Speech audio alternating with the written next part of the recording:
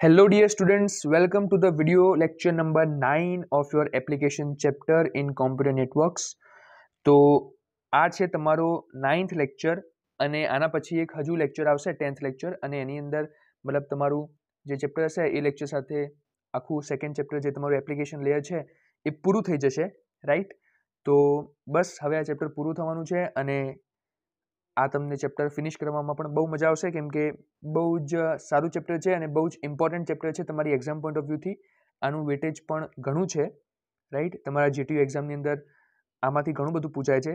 અને એમાંનો એક બહુ જ ઇમ્પોર્ટન્ટ ટોપિક છે તમારો ઇલેક્ટ્રોનિક મેલ રાઈટ તો હવે આજના વિડીયોની અંદર આપણે જોઈશું કે વોટ ઇઝ ઇલેક્ટ્રોનિક મેલ આની અંદર કયા કયા ડિફરન્ટ પ્રોટોકોલ્સનો યુઝ થાય છે, એ પણ આપણે જોઈશું.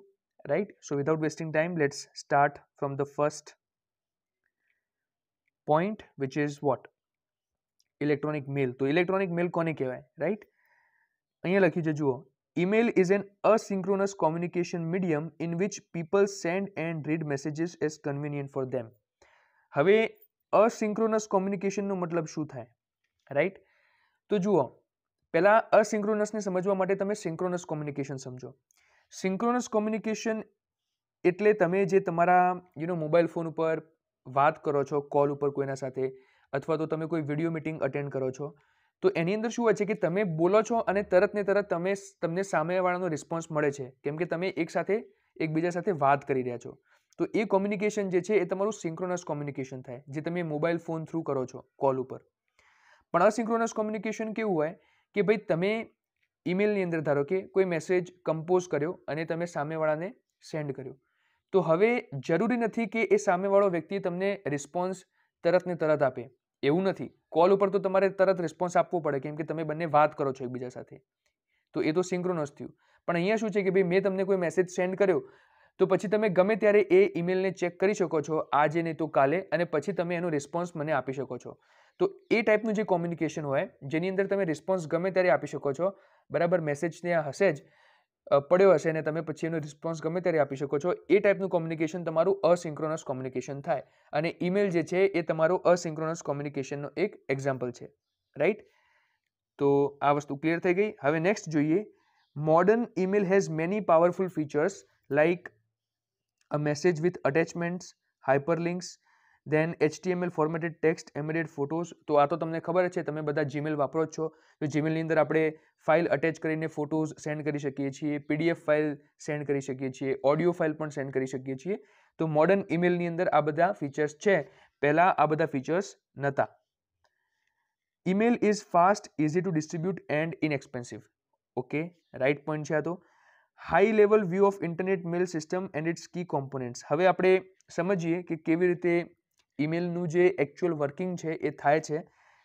Right we are engineers so આપણે અંદરની વસ્તુઓ જાણવામાં વધારે ઇન્ટરેસ્ટેડ છીએ કે ભાઈ, ચલો, ઈમેલ કામ તો કરે છે, પણ કેવી રીતે કરે છે એ વસ્તુ અમને કહો. રાઈટ તો અહીંયા જુઓ. સૌથી પહેલાં આપણે અમુક ટર્મિનોલોજીસ જોવી પડશે કે યુઝર એજન્ટ કોને કહેવાય મેલ સર્વર કોને કહેવાય એસએમટીપી શું છે?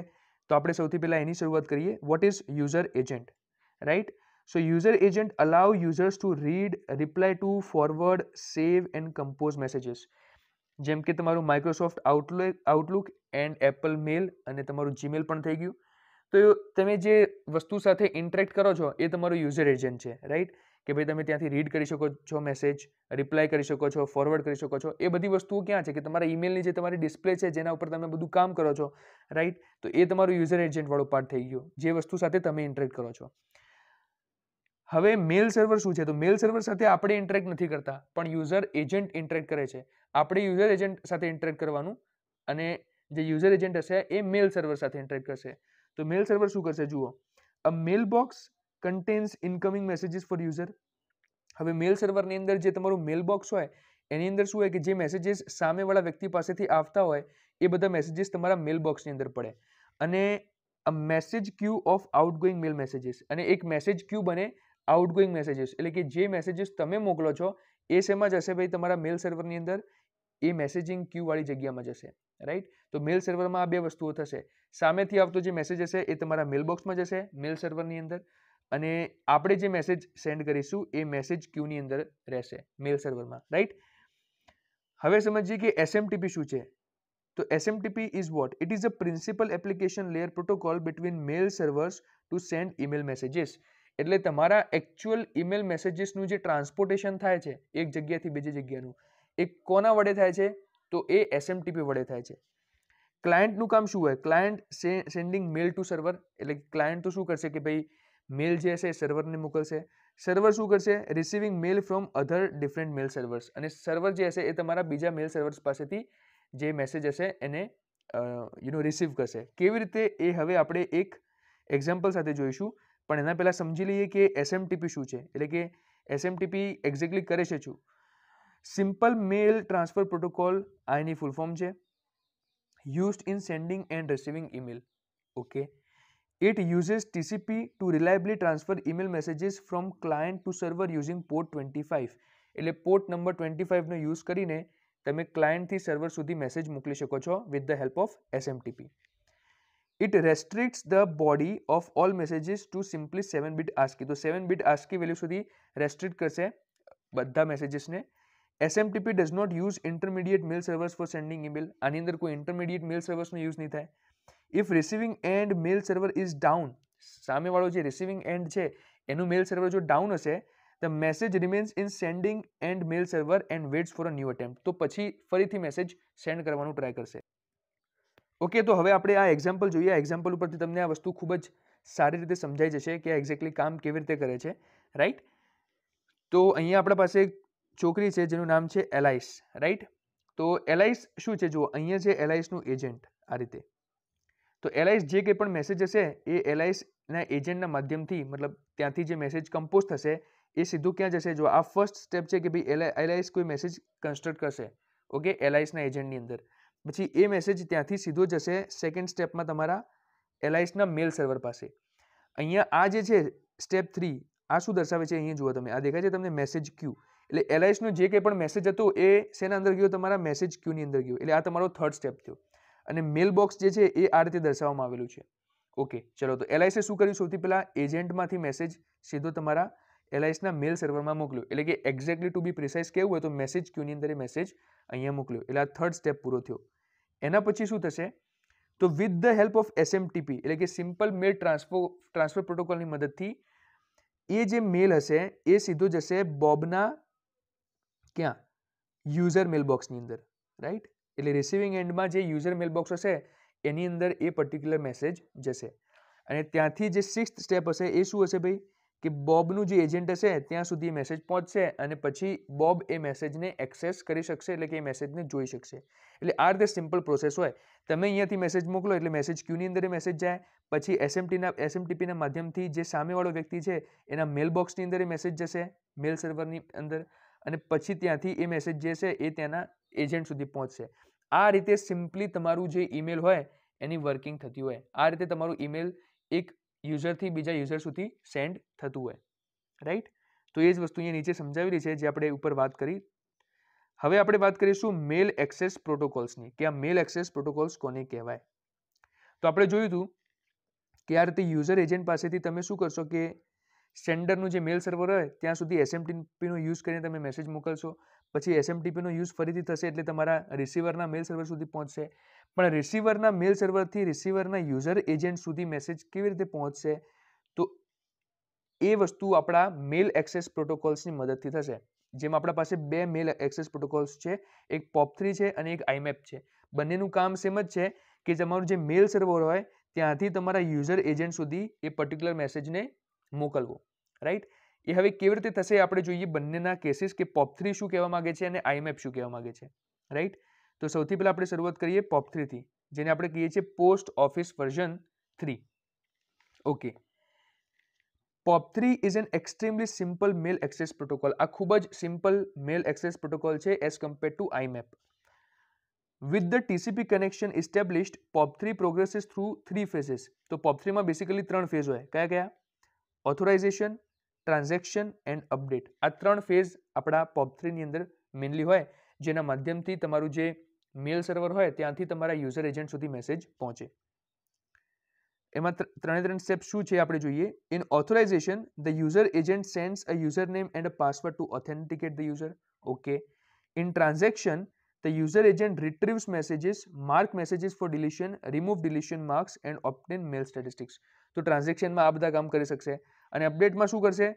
After the quit command by client ending the POP three session the mail server deletes the mark messages okay simple લેંગ્વેજમાં સમજાવું તો એ વસ્તુ એવું કહેવા માગે છે કે પોપ થ્રી જે છે તમારું ઓકે પ્રોટોકોલ એમાં કેવી રીતે કામ કરશે? કે તમારા મેલ સર્વરમાંથી એ જે મેસેજ છે, એ આ ત્રણ સ્ટેપથી પ્રોપરલી શું થશે? તમારા ડિવાઇસમાં ડાઉનલોડ થઈ જશે. પહેલી વસ્તુ તો આ. તમારા ડિવાઈ ડિવાઇસની અંદર ઓફલાઈન ડાઉનલોડ થશે એમ. એટલે ઓફલાઈન અવેલેબલ થઈ જશે. એના પછી શું કરશે? પોપ થ્રી તો તમારા મેલ સર્વરમાંથી એ પર્ટિક્યુલર મેસેજને પછી ડિલીટ કરી દેશે. એટલે જેવું તમારું મેસેજ તમારા ડિવાઇસમાં ડાઉનલોડ થઈ જાય યુઝરના ડિવાઇસમાં ડાઉનલોડ થઈ જાય, એના પછી મેલ સર્વરમાંથી મેસેજ ડિલીટ થઈ જશે. એટલે ફરીથી તમે એક્સેસ નહીં કરી શકો. એનો સિમ્પલ મતલબ શું છે કે પોપ થ્રી એવો પ્રોટોકોલ છે જેની અંદર તમે એક જ ડિવાઇસ ઉપર, એક જ કમ્પ્યુટર ડિવાઇસ ઉપર એ મેલને જોઈ શકો છો. કેમ કે એ ડિવાઇસ ઉપર જ એ ઓફલાઈન ડાઉનલોડ થશે. રાઈટ એ તમે કોઈ બીજા ડિવાઇસ ઉપર એક્સેસ કરી શકશો નહીં. તો આ પોપ થ્રી થઈ ગયું. એટલે પહેલાં આનો યુઝ થતો હતો. આ બહુ સિમ્પલ છે, એનું કારણ જ આ છે કે ભાઈ આની અંદર તમે ઓનલાઈન ઇન્ટરનેટનો યુઝ કરીને ડિફરન્ટ ડિવાઇસીસ ઉપર એ મેલને નહીં જોઈ શકો. તો POP three is design to delete mail on the server as soon as the user has downloaded it user જેવું એ મેસેજને ડાઉનલોડ કરશે એના ડિવાઇસની અંદર, એટલે મેલ સર્વર ઉપરથી મેસેજ જે છે એ ડિલીટ થઈ જશે. એ જ જગ્યાએ જ્યારે આપણે આઈમેપની વાત કરીએ which is internet mail access protocol હવે તમને ખબર પડી જ ગઈ છે કે આમાં કેવી રીતે કામ કરે છે. તો તમારું જે જીમેલ છે જીમેલ તમે વાપરો છો, એ જીમેલની અંદર કયું કહેવાશે પ્રોટોકોલ તો હંડ્રેડ પર્સન્ટ આઈમેપ આવશે. કેમ આઈમેપ આવશે? કેમ કે તમે જીમેલમાં તમારા લેપટોપમાંથી પણ તમે મેલ્સ ચેક કરી શકો છો. જેવું તમે સાઇન ઇન કરો, તમે તમારા મોબાઈલ ફોનમાંથી પણ તમે, એ મેસેજીસને ચેક કરી શકો છો, જે તમારા મેલમાં આવ્યા છે. તો એનો મતલબ છે એ ઇન્ટરનેટ મેલ એક્સેસ પ્રોટોકોલનો યુઝ કરે છે. કેવી રીતે આપણે જોઈએ? જુઓ. To keep all messages in one place at server એટલે આઈમેપની અંદર તમારા જે મેસેજીસ હશે એ ડિવાઇસમાં ઓફલાઈન ડાઉનલોડ નહીં થાય, પણ એની જગ્યાએ એ મેલ સર્વરમાં જ ડાઉનલોડ થશે. તો એ તમારા સર્વર ઉપર જ અવેલેબલ હશે. એટલે હવે તમે આને મલ્ટિપલ ડિવાઇસીસથી એક્સેસ કરી શકો છો.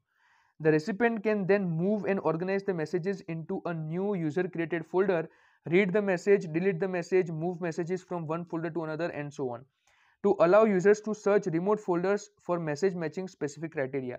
Also permit a user agent to obtain components of messages when low bandwidth connection between the user agent and its mail server.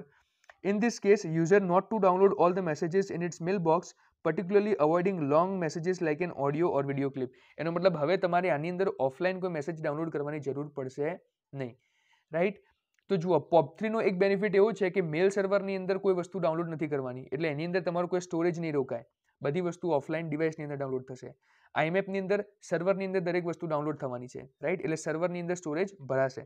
તો આ ડિફરન્સ છે આઈમેપ અને પોપ થ્રી વચ્ચે, કે ભાઈ આઈમેપ છે જે તમે ડિફરન્ટ ડિવાઇસીસ ઉપરથી એક્સેસ કરી શકો છો રાઈટ મારા શબ્દો પકડજો, જરૂરી નથી કે જે આ થિયરી અહીંયા આપેલી છે તમે એવી બેઠી લખીને તમારી એક્ઝામમાં આવો. મારા શબ્દો પકડશો, એ વસ્તુને તમે જે સમજ્યા છો, એ વસ્તુને એક્ઝામમાં લખીને આવશો, તો પણ તમને ફૂલ માર્ક્સ જ મળશે રાઈટ તો ઈમેલના રિલેટેડ જેટલી પણ ડિસ્કશન હતી એ બધી આપણે આજના વિડીયોની અંદર કરી લીધી. આશા રાખું છું કે આ વીડિયો તમને ગમ્યો હશે અને આ તમારા ફ્રેન્ડ્સ સાથે પણ શેર કરજો, કેમ કે શેરિંગ ઇઝ કેરિંગ, રાઈટ? તમે જેટલું નોલેજ શેર કરશો બીજા લોકો સાથે એટલું તમારું જ નોલેજ વધશે, રાઈટ? સો, એ જ સાથે આજનો વીડિયો આપણે એન્ડ કરીએ. Thank you so much. Bye